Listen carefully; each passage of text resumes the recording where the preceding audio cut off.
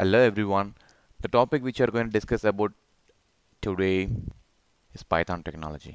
Okay, so as a prerequisite to this particular course, you don't need any prior knowledge about any programming language. Okay, if you have knowledge about some other programming language, it will be easier for you to understand. But it is okay even you don't have any idea about any any uh, um, programming language. It's it's good. There is no issues for that. Okay. So pretty much I'm going to cover from the beginning. So at the end of this course, you you'll be able to uh, write up programs with the help of uh, strings or variable or different kind of data types and oops and, and all the um, parameters actually. Okay, so what are the prerequisites? As I said, there is no need any prior knowledge. Okay, and we'll go step by step. The first thing what you need is install Python. Okay, and second is IDE. And third, what we're gonna see.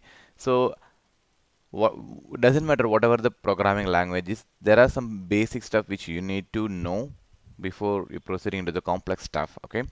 So here once we enter into the uh, Python so I, I do I have a Python installed in my machine and I have ID what else? I need to do the first thing which we need to say as well as math functionality and following that string and then logical and data structure that's the important thing. Data structure. And what else? So the looping. Okay. So and how to create functions in Python.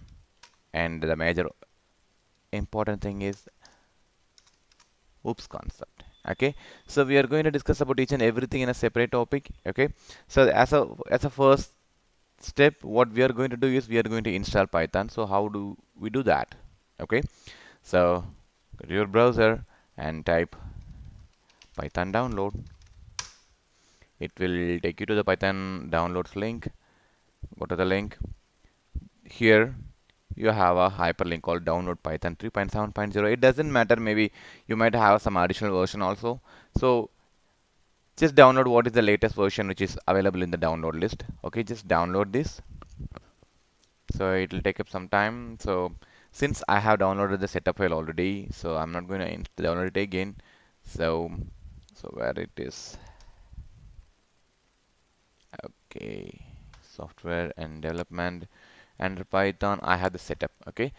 So how are we going to install it okay? Just double click the exe file and click run okay the reason why it is showing modify repair and install I already installed Python in my machine okay?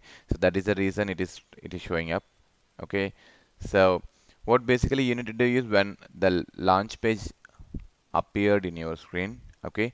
You, you don't have much things to do okay? You just simply click next next next next next and finish.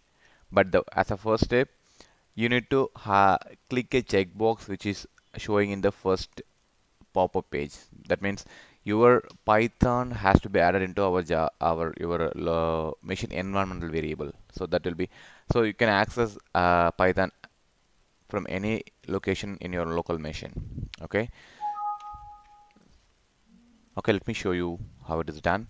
Okay so once you double click the exe file you'll pop up with a security warning. So do you want to install? Just click run. And the next pop-up screen you'll have the installation instruction. This is what I'm talking about. Add python 3.6 to your path. Since you're downloading 3.7 it will be different for each and different versions okay? Make sure you add python 3.6 to the path okay? And then click next and ace and go up to the pro end of the process and finally the setup was successfully installed on your machine okay?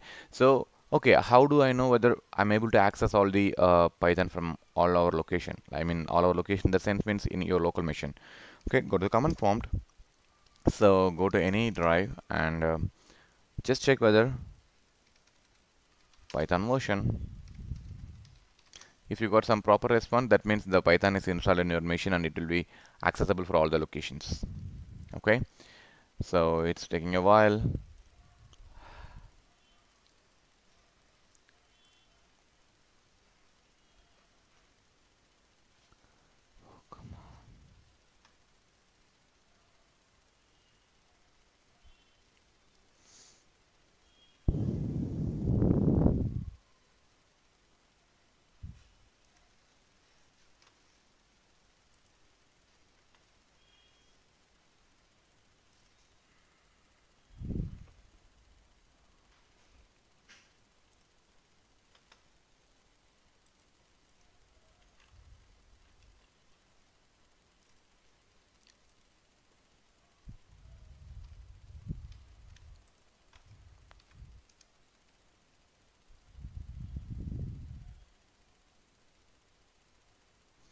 okay it is showing on, on okay my bad.